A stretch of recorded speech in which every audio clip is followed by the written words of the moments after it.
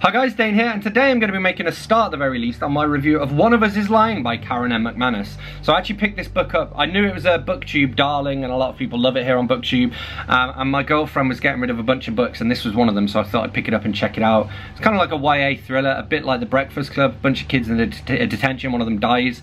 Um, I'm going to go through and uh, I'm going to start by reading the blurb, then I'm going to check out my tabs and I'll share my overall thoughts and rating at the end. So, Dane reads. Five students walk into detention, only four leave alive. Yale hopeful Bronwyn has never publicly broken a rule. Sports star Cooper only knows what he's doing in the baseball diamond. Bad boy Nate is one misstep away from a life of crime. Prom queen Addie is holding together the cracks in her perfect life. An outsider Simon, creator of the notorious gossip app at Bayview High, won't ever talk about any of them again. He dies 24 hours before he can post their deepest secrets online.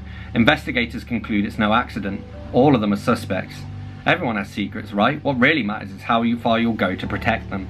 So let's check out some tabs. It's all written in the present tense, uh, which I am not a fan of. So this is interesting from Cooper, uh, the baseball player. And by the way, most of the entries are uh, titled by the character whose point of view they're from and then given with a date and time.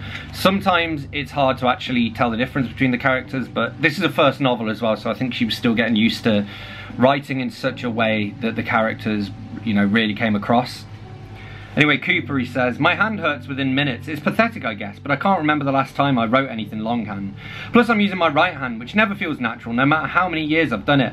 My father insisted I learn to write right-handed in second grade after he first saw me pitch. Your left arm's gold, he told me. Don't waste it on crap that don't matter which is anything but pitching as far as he's concerned. Oh yes, we get this. A lot of people think Jake and I have been sleeping together since freshman year, but that's not true. He wanted to wait until after junior prom. It was a big deal. Jake rented a fancy hotel room that he filled with candles and flowers and bought me amazing lingerie from Victoria's Secret.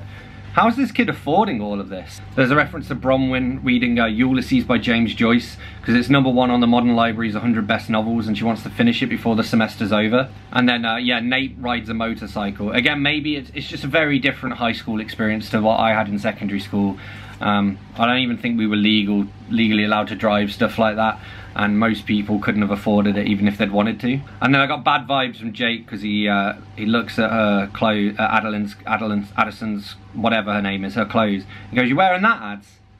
Um, oh, it'll be cold at the beach." I'll keep you warm. Put on something a little cuter, huh? And I have watched enough episodes of My Love and My Killer and Meet, Marry, Murder to know that is not good. That is controlling coercive behaviour, or at least the early signs of it. And they're talking about uh, Halloween costumes and we get the line, typical guy, you have no idea how hard it is to find a costume that's sexy but not slutty. Then someone replies, just be slutty then. I did like this though, uh, so who is it? Is it Adeline? Bronwyn, that's the one. Her and Nate sort of start to hook up. Um, sometimes we don't talk at all. Last night he suggested we watch a movie and we both logged into Netflix and watched a god-awful horror movie he picked until 2 in the morning. I fell asleep with my earbuds still in and might have snored in his ear at some point. and I just thought that was very cute, the idea of what, them watching the same movie at the same time and chatting about it on the phone. Must do that with my girlfriend at some point.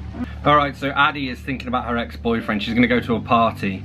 Um, she goes, if I was going to the party tonight, I'd have to wear something he picked out, stay as late as he wanted, and not talk to anyone who might make him mad. I miss him still, I do, but I don't miss that. Dude, you're being controlled by a coercive and abusive boyfriend. Okay, Bronwyn. So Jake says, cheating isn't a mistake, it's a choice. Which it is, I would argue. Okay, so Bronwyn again. So she's on the phone with Nate, half watching Battle Royale, which is, which is a lot better than a lot of the movies Nate likes. Well, it is, it's a great movie. Great book as well. So uh, Bronwyn again here. And she uses the word telenovela, which not only, I think I've heard that twice in my entire life within specialist writing uh, circles. I just don't think a teenager would know or use that word. And speaking of choices, Cooper's dad uh, thinks that because Cooper is gay, that was a choice, which as we all know, it is not. And so we're back to Addie here. And uh, this conversation between her and her, her mum, I think is a very realistic conversation. I think a lot of people have sort of felt this kind of pressure from their parents, and it's not good. I'm not looking for another boyfriend, mum. She stares at me like I've sprouted wings and started speaking Chinese. Why on earth not? It's been ages since you and Jake broke up.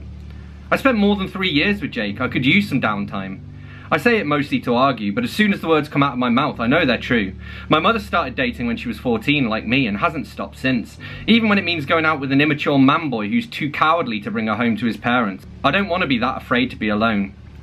Don't be ridiculous, that's the last thing you need. Have a few dates with a boy like TJ, even if you're not interested and other boys at school might see you as desirable again. You don't want to end up on a shelf, Adelaide, some sad single girl who spends all her time with that odd group of friends you've got now.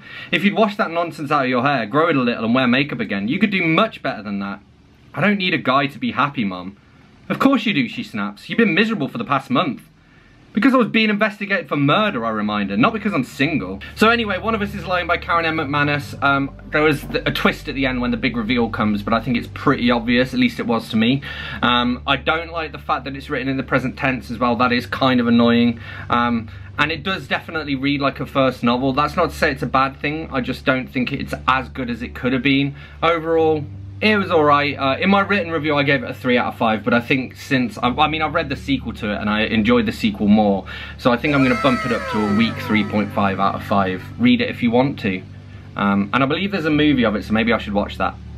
So there we have it, that's what I made of One of Us is Lying. As always, don't forget to let me know in the comments what you thought of this book. If you read it, hit that like button. If you've enjoyed this video, hit that subscribe button for more, and I'll see you soon for another bookish video. Thanks a lot. Bye-bye.